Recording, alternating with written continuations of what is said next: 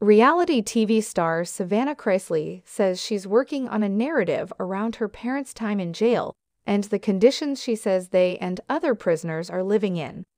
I cruel, there's so numerous distinctive things I'm working on, Chrisley said during a later scene of her podcast. Right presently, a narrative, not as it were almost my parents' case, but the change activities that I'm included in and working with a parcel of lobbyists and attorneys to affirm before Congress on things that I have revealed inside our system. Todd and Julie Chrisley, for the most part known for their reality TV series Chrisley Knows Best, were found blameworthy in 2022 of planning to swindle banks and the IRS out of millions of dollars.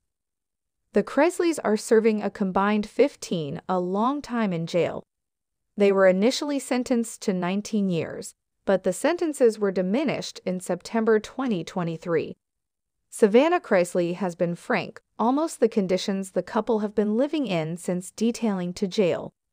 Individuals magazine is too announcing that the repercussions of Todd and Julie's sentencing and its effect on the whole Chrisley family is said to be a portion of an up and coming reality series. I know some diverse systems are kind of in arrangements to see where that goes, Chrisley said. But right presently, I'm so centered on my genuine domain trade here in Nashville that has fair developed exponentially. Centering on that, the kids, and at that point, obviously, just my parents' request and getting them home. Savannah Chrisley said the modern arrangement had been a bit of a holding up amusement, Right now, the world of TV is kind of crazy. Everybody, it appears like they're restructuring, Chrisley said. So we're fair kind of holding up to see where it lands.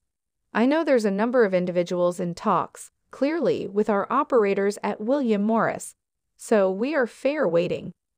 Channel 2 Activity News first begun exploring the Chrisleys in 2017 when we learned that Todd Chrisley had likely sidestepped paying Georgia state pay taxes for a few long time.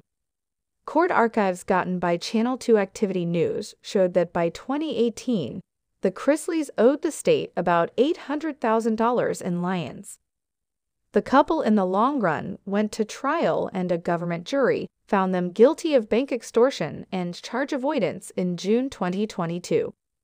Savannah Chrisley said amid her podcast that she trusted to have her parents home by the summer. The following hearing for the couple's request is another month where Savannah Chrisley said she is trusting the judge will allow bond for them.